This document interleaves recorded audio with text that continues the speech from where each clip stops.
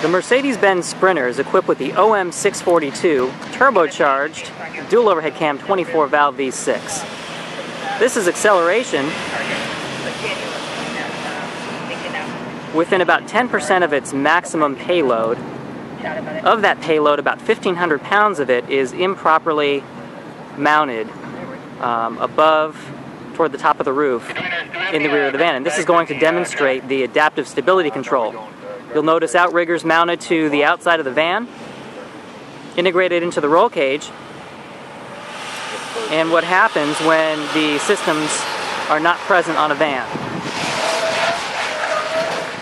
As you can see, the right wheel's lifted and the outriggers scrape the ground. That could have been a rollover in a normal van.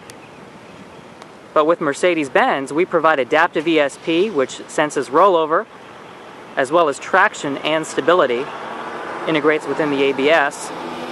Now, with these systems turned on, the van will accelerate to 40 miles an hour, which is 10 miles an hour faster than it just accelerated to. And there will be no braking.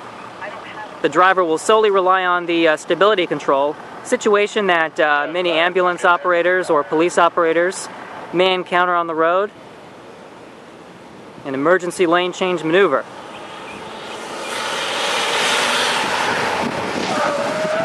And as you can see, the rollover mitigation and adaptive ESP prevented something very, very awful from happening.